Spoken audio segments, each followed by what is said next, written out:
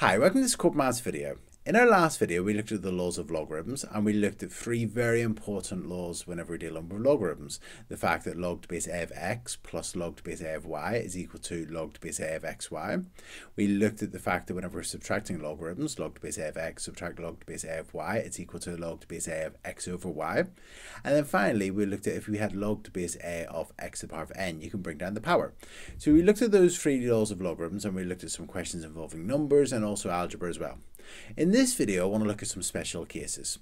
So I want to look at the fact that log to base a of a is equal to 1, the fact that log to base a of 1 is equal to 0, they're just really using your knowledge of logarithms, and also the fact that log to base a of 1 over x is equal to minus log to base a of x. So let's have a look at each of these now. So in terms of the first one, log to base a of a is equal to 1. Well, think about it.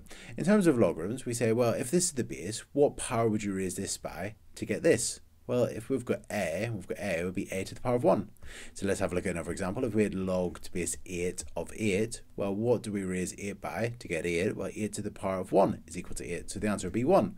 Or if we had log to base 4 of 4, what power do you raise 4 by to get to 4? Well, that would be 1 as well. So if you have log to base a of a, the answer will always be equal to 1. Okay, let's look at our next special case. That's the fact that log base a of 1 is equal to 0. Well, think about it here. If we've got a base of a, what power would you raise it to to get 1? Well, that'll be 0 because a to the power of 0 is equal to 1.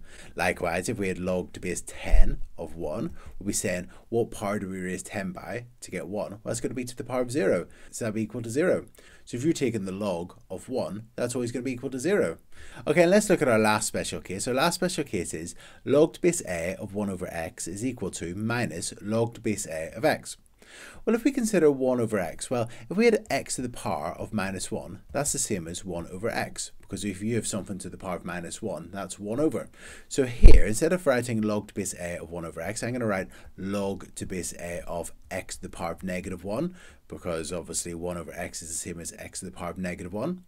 And then if we think back to our third law of logarithms, the fact that we have log to base a of x to the power of n, you can bring down the power.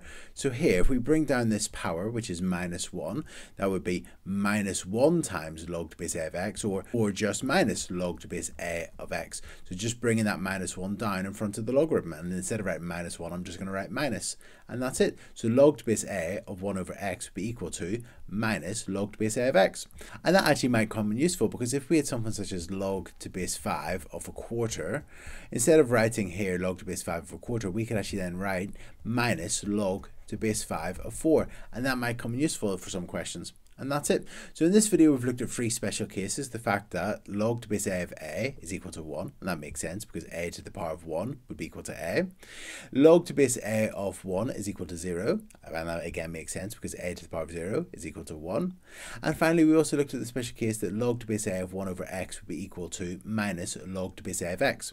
And again, that makes sense because this would be x to the power of negative 1 because that's 1 over x. So this is x to the power of negative 1. And then if you bring that power down, that negative 1 down, we'd have minus log to base a of x. And that's it. So in this video, we've looked at some special cases for the laws of logarithms. And that's it.